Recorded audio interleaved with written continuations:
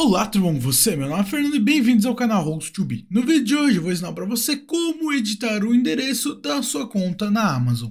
Mas antes, já deixa o like nesse vídeo e se inscreve no canal para estar apoiando nossos tutoriais. Então a primeira coisa que precisamos fazer é acessar o site da Amazon.com.br e você também precisa estar logado dentro da sua conta. Já logado, basta vir no lado da direita superior Aqui na opção onde vai mostrar o seu nome e o texto contas e listas, botar o mouse em cima vai aparecer a opção sua conta e basta clicar no botão sua conta. Com isso será aberto a página com as informações da sua conta.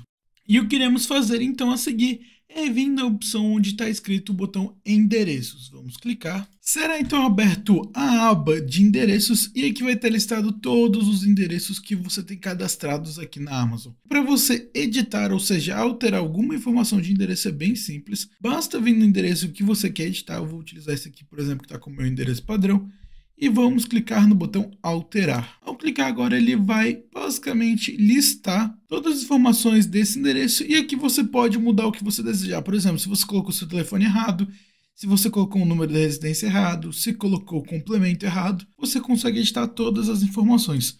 Então, por exemplo, aqui eu não coloquei o complemento e agora eu vou adicionar o complemento para que não tenha nenhum problema. Então, eu vou botar aqui como apartamento 306. Então, agora, quando alguém receber vai ter então nesse endereço saber que é o apartamento 306, que é o meu endereço de entrega. E após então você alterar todas as informações que você desejar, basta vir abaixo e clicar no botão atualizar end, que seria então atualizar endereço. E prontinho, com isso agora o endereço já foi salvo com sucesso e aqui mostra a alteração que você fez. Então aqui o endereço antes não tinha a parte do apartamento 306 e agora tem corretamente com o complemento que eu adicionei. Então com isso você aprendeu como editar, como alterar o endereço aqui na Amazon. Então eu espero que esse vídeo tenha ajudado. Se lhe ajudou, peço que por favor deixe seu like nesse vídeo e se inscreve no canal para estar apoiando nossos tutoriais.